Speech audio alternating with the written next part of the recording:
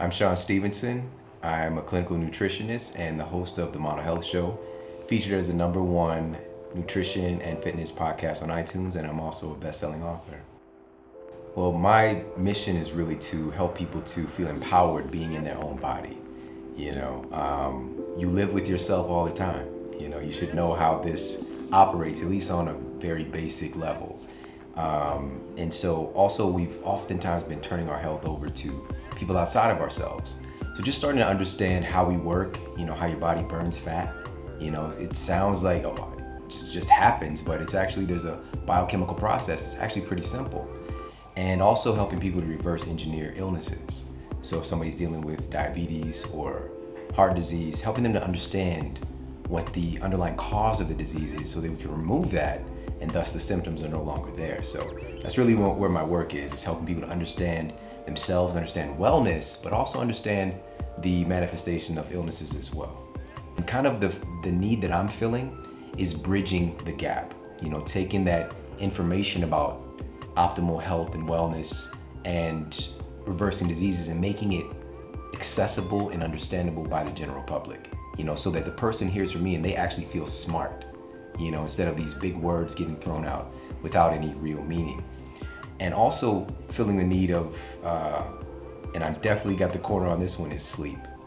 You know, sleep is a huge issue.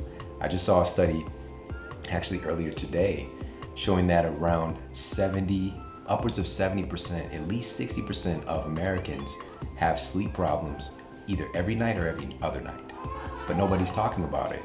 And so that was kind of the premise of the best-selling book, Sleep Smarter.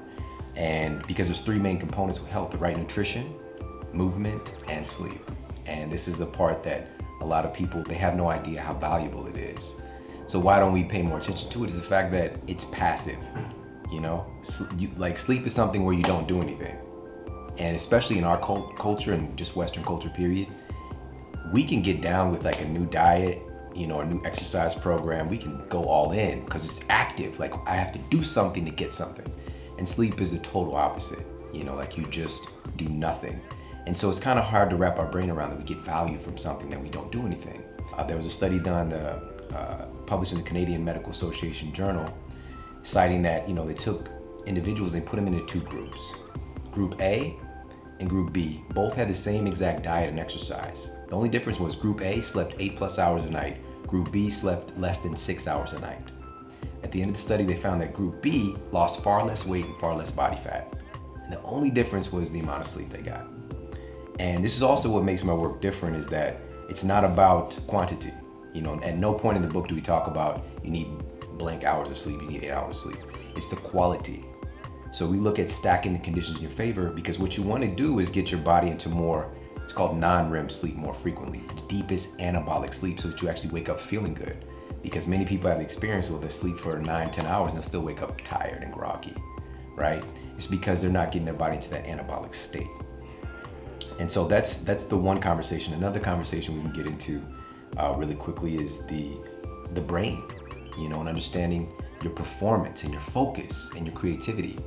Uh, there was another fascinating study done, and they found when somebody, when an individual was sleep deprived, there was far less activity in the more um, evolved parts of the brain, you know, the prefrontal cortex. So this is the part of your brain responsible for your decision making, your quote willpower, your uh, distinguishing between right and wrong. That part of the brain kind of start, the lights start to go out, you know. And so when you're tired is when you tend to make poor decisions. Your body really changes while you're asleep. This is when your body releases all the repairing hormones, the repairing enzymes to help to build you up and make you better you know so sleep is the secret sauce and it's that it's that big component that a lot of people are missing out on but that's about to change in a big way